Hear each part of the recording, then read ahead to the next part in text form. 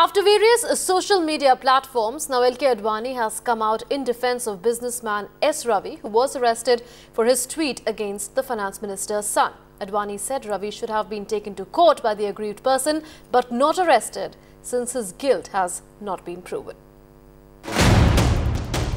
Little did Puducherry businessman S. Ravi know that his tweet would lead to a midnight knock on his door by the police.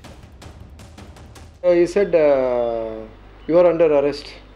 Uh, I told him for what reason. He said, Don't you know? And he showed me that uh, Kartik uh, Chidambaram had given a complaint that I was trying to maliciously defame him.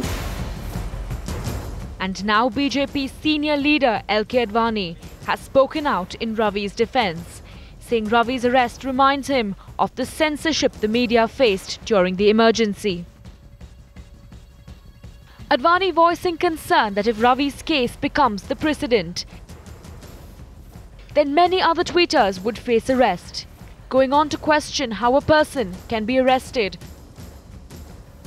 without being pronounced guilty by court. People who arrest somebody who tweets against the finance minister's son, they have absolutely no right to lecture anyone about democracy. Even the social media is in solidarity with Ravi. After his arrest, his following on Twitter shooting up dramatically. Bureau Report, Times Now.